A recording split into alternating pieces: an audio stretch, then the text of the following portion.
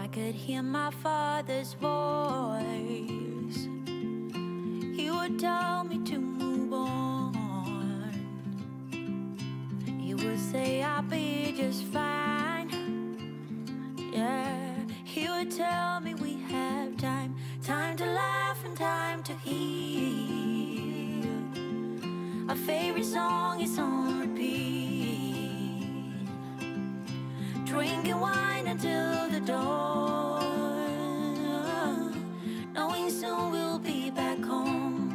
So hey everybody, it's Mickey and in today's video we are doing a little fall prep here in the kitchen. I have two great recipes to share with you and we are going to be reorganizing the pantry to get it ready for the season. So if you are new here and do like DIY, decor, organizing, cooking, and planning videos, I hope you'll take a minute to subscribe. I put out new videos every week about all things home. I want to thank Cricut for sponsoring today's project, but before we get into that, I have an awesome fall crockpot meal to share with you. So today we are making my version of beef tips and gravy. This recipe is so easy and it's really perfect for fall days or, you know, just about any day of the year. It gets better the longer you cook it. So I want to get it going this morning so that we can have it later on this afternoon for dinner. So you are going to need about three small packages of beef stew meat. You could also cut up your own roast, but I just think the pre-cut packages really make this meal so quick to put together. You'll also need one chopped small onion, a package of browned gravy, one can of cream of mushroom soup, about a cup of beef broth. I use a bunch of seasonings in this. I like to use garlic powder, Mrs. Dash, salt and pepper, a little bit of red pepper flakes, some hot sauce, a little Worcestershire sauce, and you will be needing some cornstarch a little bit later in the recipe. To get started, open your packages and get all of your stew meat in the crock pot. Then season the meat really well with all the spices. You don't really need to be afraid of using too much spice in this recipe because it all adds to the flavor. Chop up the small onion and add it to the pot. In a small bowl, combine the cream of mushroom soup, about a cup of the beef broth, and a package of beef gravy. Whisk this all together really well and pour over the top of the meat. You can stir the meat around a little bit just to make sure everything is covered well. Cover with the lid and cook on high for three to four hours or on low four to five hours. About 30 minutes or so before it's done, mix about a tablespoon of cornstarch with a little warm water and stir into the crock pot. Let it cook until the gravy is thickened. I like to serve this over some creamy mashed potatoes with mixed vegetables, but you can also serve this over rice or egg noodles. This is really one of our family favorites.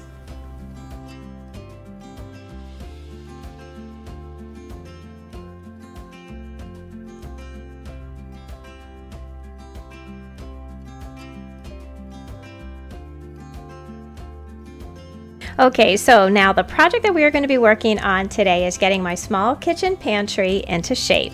Now I have had these containers and set up organized this way for about a year now and it has really worked out perfectly. I just want to make everything more permanent.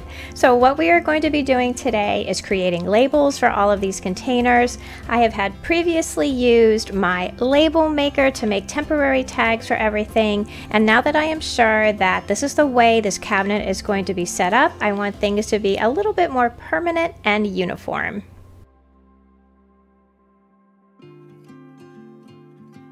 As you can see, I have a few different types of containers in here. I have my mason jars, airtight lidded containers, and large and small open trays. So the first thing I'm going to need to do is to remove all the old labels that are currently on these containers, and then I need to measure out the different sizes I want the new labels to be. So I've started a list here in a little notebook of all the different sizes and the names of the containers I need to cut out.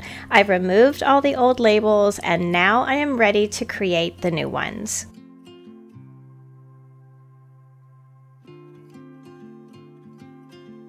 So for this job, I am going to be using my Cricut Explore Air 2. If you are unfamiliar with Cricut, it is the most awesome craft cutting machine. It can cut so many different materials.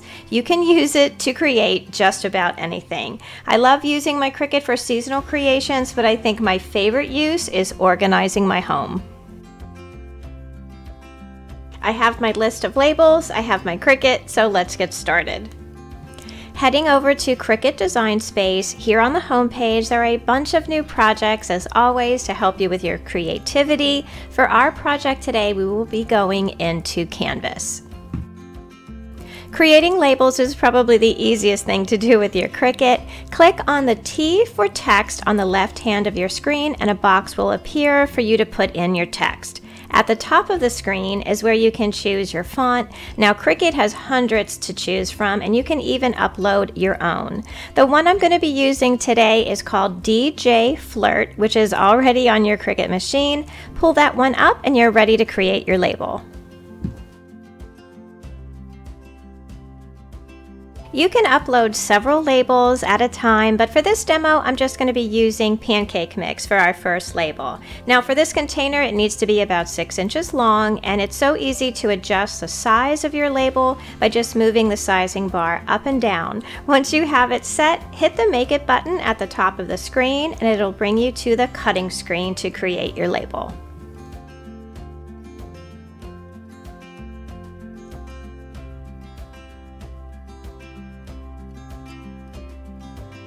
Majority of my labels are going to be cut out of black matte vinyl. I've been buying vinyl in bulk on the Cricut website, which saves you a ton of money, and I just use my cutting board and X-Acto blade to measure everything out.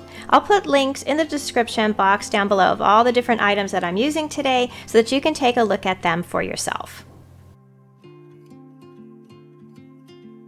Once all the labels are cut out, I weed out the excess vinyl, lay some transfer tape over it, and the label is ready to be applied to the container. I just repeat this whole process until all the labels are created.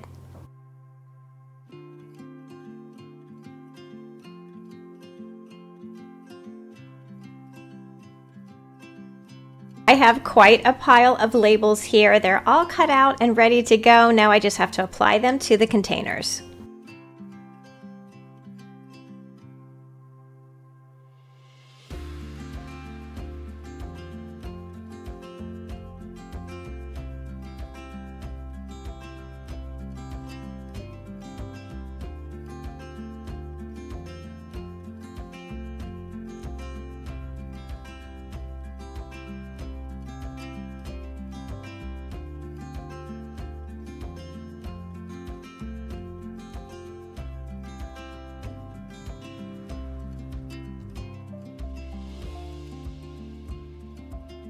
I am all done and everything is organized and I really think that it looks great.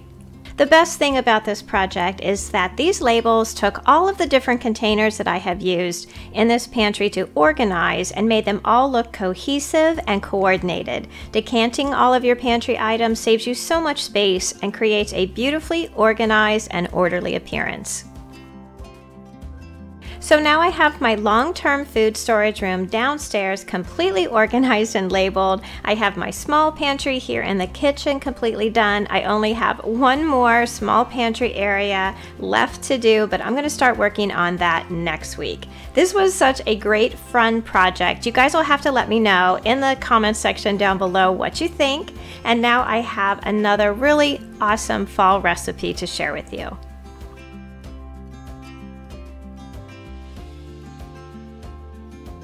So I have the absolute best banana bread recipe I have ever tried. This will now replace my tried and true Paula Deen banana bread recipe that I have used for years.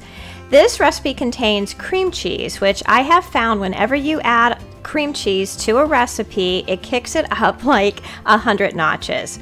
So I found this on a website called sugardishme.com and I'm going to leave a link to it down below for you because trust me, you are going to want to try this recipe.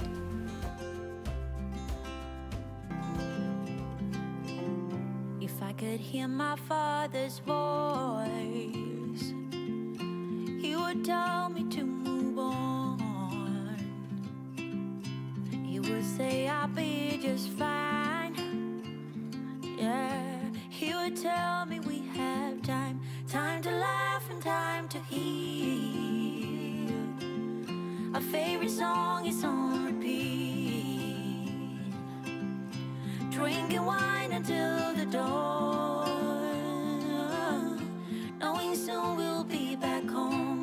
This recipe makes two large, beautiful loaves of banana bread. They freeze well and they make really delicious French toast. So check down below for the link to this recipe and any other links mentioned in today's video.